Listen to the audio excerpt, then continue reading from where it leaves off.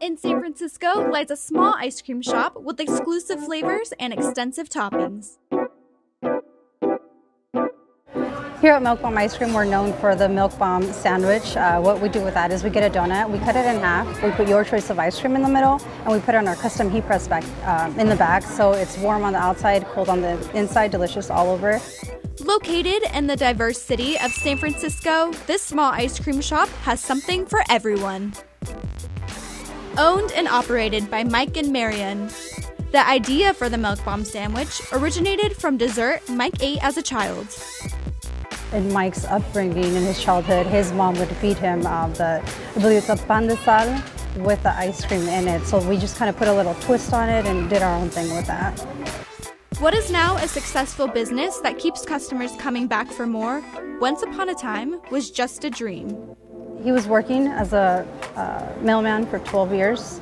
Um, he was always harassed. You know, he always wanted to kind of like do his own thing and follow his own dreams. And when he presented the idea to me, I was like, let's go. Like, I'm 100% in, I'm 100% supportive. You know, whatever we got to do, let's do it. It's just amazing the way everything's played out because um, we actually almost didn't open our store. Uh, we had actually given up because we had gone through so many no's. You know, different landlords had told us, you don't have enough experience. Um, you're just a mailman. You're just a stay-at-home mom. You don't have, you know, 500K in the bank. Uh, so everyone was like, no, no, no. Um, and then the night we actually gave up, we came across this place. Uh, we saw an ad and we're like, okay, um, let's try it one more time. This seems like it'd be a good fit. And it's crazy because we closed within two weeks. This landlord here, we're very, very grateful because if it wasn't for him, we probably wouldn't have opened. Milk Bomb Ice Cream, this is Mike speaking.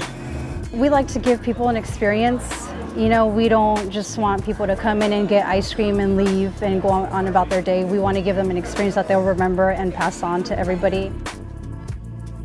I like to think we're a lot different than most ice cream shops you go to. Um, we like to treat everyone like if they're family.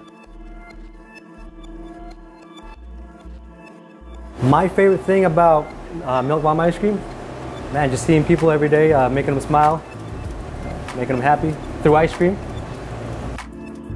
We plan to expand to all the major cities, um, Philippines, uh, Korea, just anywhere we can, you know, there where there's foodies out there. You know, people love Instagram. They love to show off their desserts and all of that. So we definitely plan to be everywhere when the time is right.